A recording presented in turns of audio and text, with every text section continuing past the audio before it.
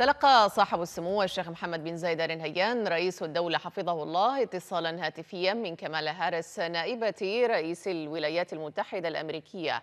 بحث خلاله الجهود المبذولة لتعزيز الاستجابة العاجلة للأوضاع الإنسانية في قطاع غزة وتكثيف المساعدات الإغاثية للمدنيين المتضررين وذلك في ظل استمرار التصعيد العسكري الذي يشهده القطاع.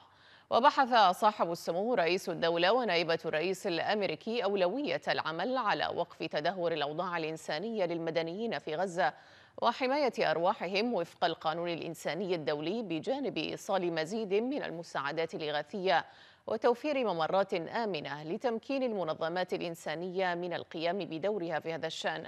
كما تطرق الاتصال إلى ضرورة الدفع باتجاه مسار واضح لتحقيق السلام الشامل والعادل والمستدام الذي يضمن الحفاظ على استقرار المنطقة ويجنبها اتساع دائرة العنف ومزيدا من الأزمات.